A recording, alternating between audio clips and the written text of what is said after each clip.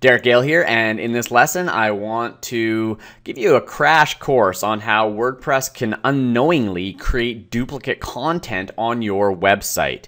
What I want to focus here on first is the taxonomies. Now, as we discussed in the lesson, in the blog post, taxonomies are simply a mechanism within WordPress for you to organize your content so that users can find it faster, easier, okay? So the default, most standard taxonomies that you're going to see in WordPress are categories and tags, and they can be very, very useful. And it's one of the things I do love about WordPress, particularly when you're creating big blogs, because it allows you to automatically organize content content and make it easy to find. But if you're not paying attention, you can also accidentally create a whole whack of duplicate content on your website, which is not going to help your rankings at all. So what we have here, you see, uh, I've created some categories, all right? So I have bath soap, organic soap, and soap making. Now, to set up this demo site, I've set it up to really highlight the, the problem, okay? So on this demo site, we have two blog posts. And I've included those two blog posts in each one of the categories, all right? So if I click on this category, for example, the first one, bath soap, I'm going to see any posts that are related to bath soap that I've tagged to be in that category. Okay, so we first see the secrets to making organic soap, and then we can see in this category, we can read the whole post, and then we scroll down, and then we see our second post, how to make organic soap, and we can see that entire post as well. Okay, so both these posts are included in this category, and you can configure how many you know you want to see on a page or whatever. Now, here's where it gets complicated. I can then click on the title of these and I can go to the actual blog post. Okay, so now here's a page dedicated to that individual blog post. And all the content is here. So you may have already caught on to what the problem is. If you haven't, let me explain it. Well, I've got all of my content on the post page, but if we go back to the category page, all of the content is on the category page too. So we've created duplicate content for both of these posts. Okay, so we have two posts. Each one of these have their own page, and each one has the full post actually listed in the category of bath soap. Now, what you'll see in many cases is you'll create posts and you'll think, oh, these should go in a couple different categories, okay? So maybe you had soap making and bath soap. So you put both those posts in both those categories. Now, if I went to soap making, once again, I scroll down, what do I see? Ah, I see both those same posts in that category and I can click to the post page to that. Now, the actual post itself, the post page, should be the original content. This is what you want indexed, okay? All of the taxonomies, all of the categories are just there for people to find stuff easier, okay? To group your content. But by putting our full posts into these taxonomies, into these categories, what we're creating is duplicate content. Now, if I have two posts across three different categories, that's theoretically six pages of duplicate content created from just two blog posts unknowingly, okay?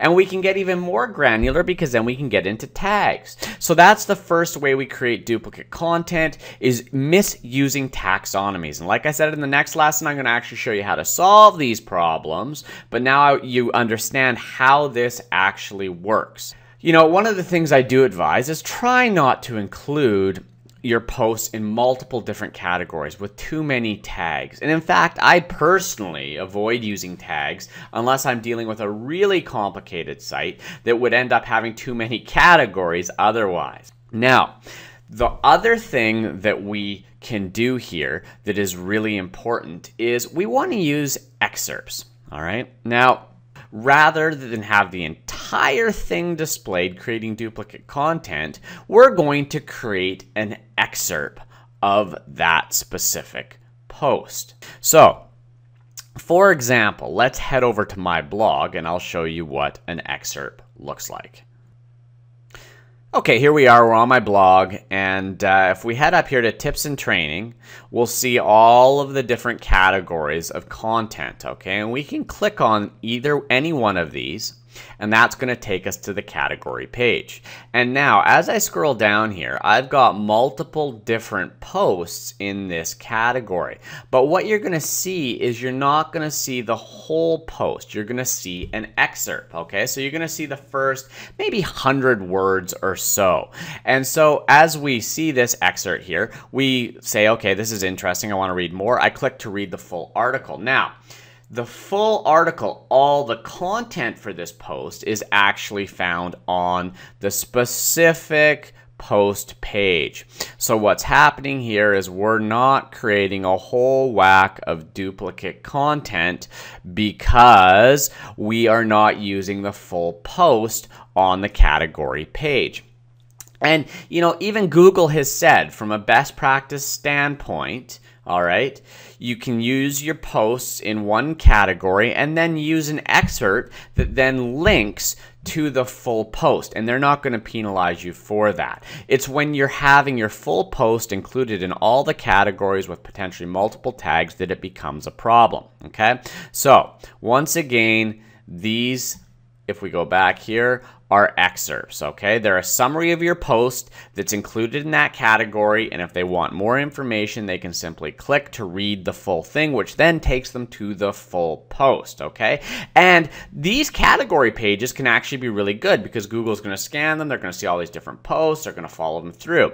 But you wanna do it with excerpts, okay? So now I wanna show you how to actually create excerpts right from the WordPress editor.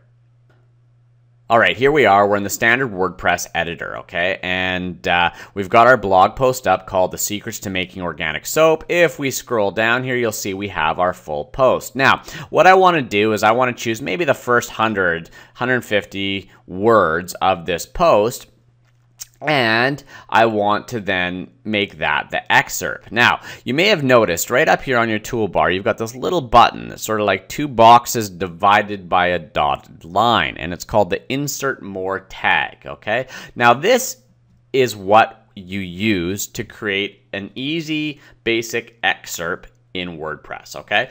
So let's say here's my I want to break my blog post right here, okay? So what I'm going to do is anything above this, so these two first two paragraphs are going to be the excerpt. So I'm going to put my little uh, cursor here where I want the excerpt to be, all right? And then I'm going to go up here and I'm just going to click this button. And voila, what you see here is you got this little line with the little more, okay? I'm going to click on update. Now, let's go back to our blog and actually look at what this did. Okay, so here we go. We're back to the blog, how to make soap at home. Now let's go down to a category, bath soap.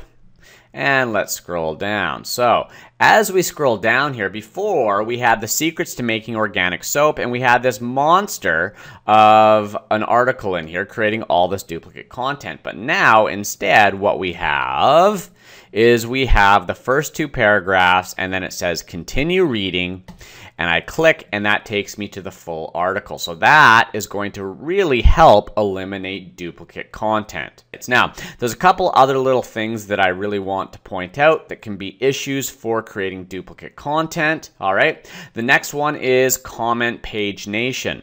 Okay. And so let's go to a blog post here that has a few different comments on it. All right. So here we go.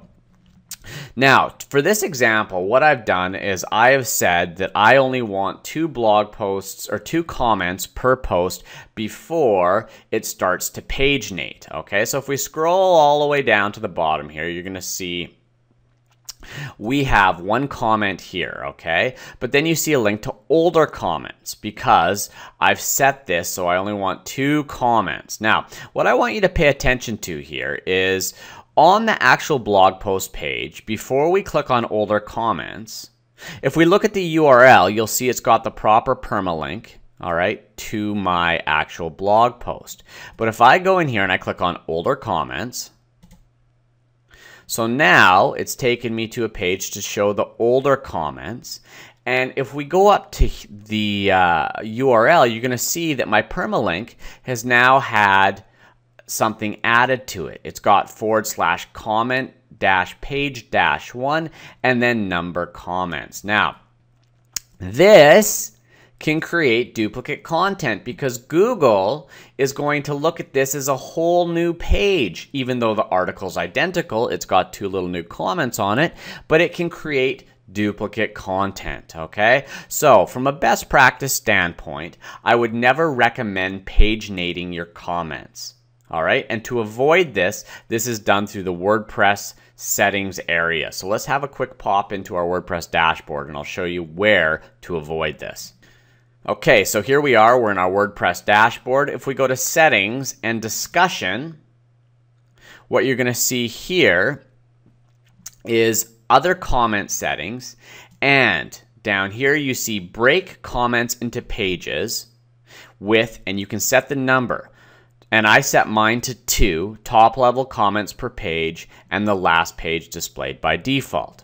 So I never want you to use this. I would rather see you have a long comments page than start creating duplicate content by having the pagination take place and creating different versions accidentally on your website. All right. Now, one more thing that you want to avoid that most people aren't aware that can happen is if you allow people to reply to comments and you have a reply link on your page, this can also create an issue. All right, so I'm going to show you that. Let's pop on over to uh, our comments page and uh, I'll give you a demonstration. Okay, here I am. I'm on my blog, and if we scroll all the way down, you're going to see there's comments on this blog post, okay? And uh, the way I have my blog set up is people can actually, you know, reply to comments and, uh, and obviously leave comments. And if you have this functionality in your theme, which a lot of themes do because creating engagement on your website is good, it can also create a bit of a snafu as far as duplicate content is concerned. And, you know, frankly, I, it's ridiculous because Google should be able to to uh, figure this one out, but apparently they haven't, okay? So if you've got the ability to reply to comments, what can happen is each comment creates, uh, in Google's eyes, what can accidentally be its own individual page. So if you have potentially, you know, a dozen comments on a single page, it can duplicate that content in Google's eyes by a dozen times. And the reason this happens is it adds a parameter or a variable to the end of the URL that Google is not able to differentiate. And in theory, they should be able to differentiate it. I don't know why they can't, but they they they haven't yet okay so if you've got comments and you've got the ability to reply so you see the little reply button to comments this can cause a problem because what it does is it makes google think each comment is on a page of its own and i know that kind of sounds odd but that's kind of what's happening all right so there you go those are the three ways duplicate content is created one using taxonomies and taxonomies are very very handy but you have to be careful how you use them two is comment pagination, which is also a problem. And three is the reply to com variable, which is a little less uh, common, but it's happened to me and uh, it could be happening unknowingly to you. So what you need to do is you need to use plugins to make sure that all of this is optimized. And also make sure you're when you're using your taxonomies you're using what I would call taxonomy best practices. So you're not putting your posts in multiple different categories with multiple different tags. And you're also using excerpts all right and if you're doing that you're going to be in pretty darn good shape all right and you're going to fix those holes that WordPress comes with and so in our next lesson we're going to get into uh, how to uh, configure the plugins that are going to save your WordPress day. So there you go. Hope you learned something. See you in another lesson.